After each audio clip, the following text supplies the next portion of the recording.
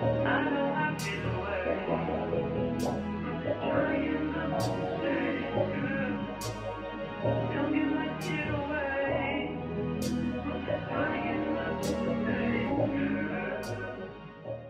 Hey guys, welcome back to my channel. So in today's video, I am going to be working with the Luvme Hair. They sent me this 5x5 HD lace closure wig and let me just show you guys the inside of the wig. So you have an elastic band already sewn in and look at the hairline. It's so natural. It's pre-plucked. Knots already bleached so you don't have to do any work whenever you get the wig. You literally take it out of the box and just throw it on your head if you want to. This is a straight texture so I'm just going to be straightening the wig let me just tell you guys this hair was so silky smooth. Like you could literally just run your fingers through it. I did wash mine so yeah it's not it's, it doesn't look exactly how it came. It came super straight but i did wash it just because i like to clean my wigs before i put them on my head majority of the time unless um i just want to show like how the wig how easy it is. But um, I really like this wig, so I just want to go ahead and clean it up because I plan on wearing it for a little bit longer than just the video. So I'm going through and straightening it and just look at how it's straightened on one pass. I'm I'm an overpass kind of girl.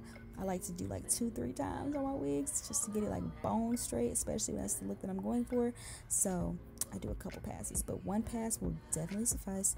So I'm just gonna be going through and straightening the whole wig, and then I'm going to go in and cut the ends because I don't know if you can tell right now but the ends do kind of look a little thin and I just feel like that way to make a wig just take a take a cheaper wig more affordable wig and make it look like a high quality wig it's just to cut the ends make it nice and blunt or it doesn't have to be a blunt cut just go in and make the ends look thicker by cutting them and it just takes the wig up like five notches. So I went in and did that and kind of did like a little face framing type of situation. I don't even know what you would call it, but I did that.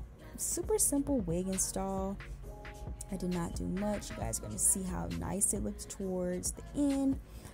And yes, I really love this wig. I'm going to have the link down below for it um, to Luvme's website, everything down there. I'm gonna also have my Depop linked because I do sell my wigs, resell them on Depop whenever I'm done with them. Now I'm not sure if this one's gonna be on there. I'm not really sure because I'm trying to like build up a little wig collection because I don't have a wig collection. Like I get all these wigs, but I keep none of them, so I don't ever have a wig to throw on if I need one. So I don't know yet. I don't know, but yeah, and look at the lace. The lace is just so nice. Like I love the way the lace looked. Lace was so thin and invisible. It just like literally blended in. But yeah, like I was saying, the link to Luvme's website will be in my description box. I will have my Depop linked in my description box, and I think that's all I have to link. Yeah, it is. Unless you guys want the link to this flat iron, it's a BaByliss um, nano titanium, I believe, because I get a lot of questions about what type of flat iron I use. BaByliss nano titanium or the other way around. I'm not sure.